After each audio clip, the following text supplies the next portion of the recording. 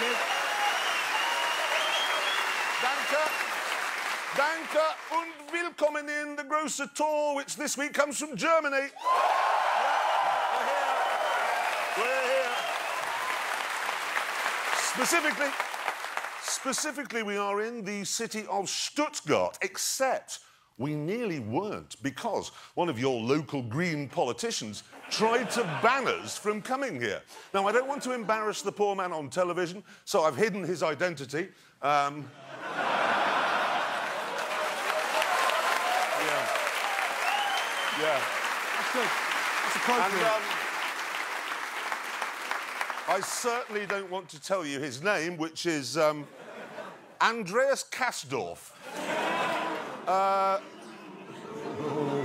not Not a popular man, but you elected him. anyway, he says that we'd be unwelcome here because this is a very bicycle friendly place. No, it, it isn't. It's the home of Mercedes and Porsche. And Germany. Exactly. Germany. Germany is the cradle of the automobile. The car was actually invented here. It's the last place on earth you can drive a car as fast as it will go on the motorway. True. All true. This is a true fact.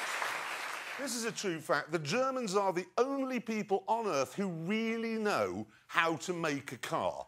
This is it's a true fact. That is true. I'll tell you a story. There was a Mercedes engineer and a Jaguar engineer having dinner one night. And the Mercedes engineer said, We have, forgive the accent, we have a quality test at the Mercedes factory. Every night we take a car off the line at random.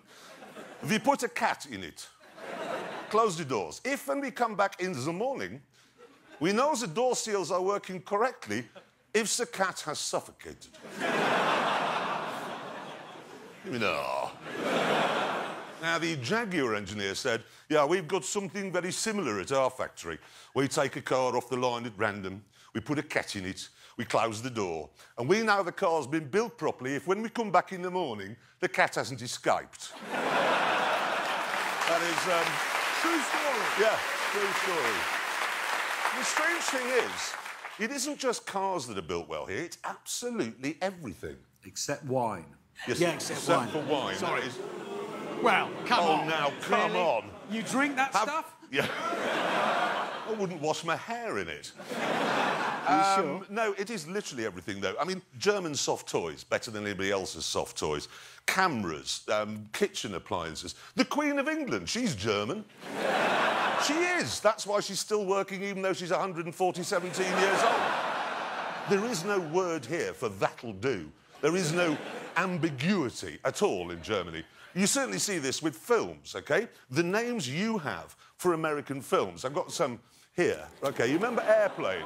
Airplane. Yeah. Airplane, yes? In Germany, it was called The Unbelievable Journey in a Crazy Airplane. That is a comprehensive title, isn't it? You know where you are. with yeah. What was Jaws?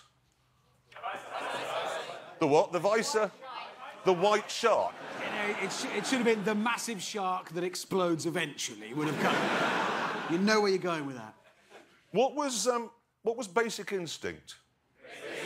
Just not a brief glimpse of Sharon Stone's vagina. Yes, great.